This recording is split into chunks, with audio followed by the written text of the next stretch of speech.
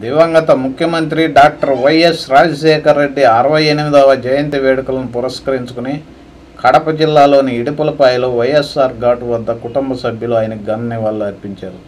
వైఎస్ఆర్సీపీ గౌరవ అధ్యక్షురాలు వైఎస్ విజయమ్మ పార్టీ అధ్యక్షుడు వైఎస్ జగన్మోహన్ రెడ్డి ఆయన సతీమణి వైఎస్ భారతి కుమార్తె వైఎస్ శర్మిల అల్లుడు బ్రదర్ అనిల్ ఎంపీలు వైఎస్ అవినాష్ రెడ్డి మిథున్ రెడ్డి తదితర కుటుంబ సభ్యులు ప్రత్యేక ప్రార్థనలు నిర్వహించారు. కార్యక్రమానికి మహానేత కుటుంబ సభ్యులు బంధువులతో పాటు వైఎస్ఆర్ అభిమానులు పాల్గొన్నారు. అదేవిధంగా నెల్లూరు గూడూరులో వైఎస్ఆర్ అభిమానులు వైఎస్ఆర్సీపీ నాయకులు వైఎస్ఆర్ విగ్రహానికి పూలమాలలు వేసి నివాళులర్పించారు ప్రభుత్వ ఆసుపత్రుల్లో రోగులకు పండ్లు రొట్టెలు పంపిణీ చేశారు.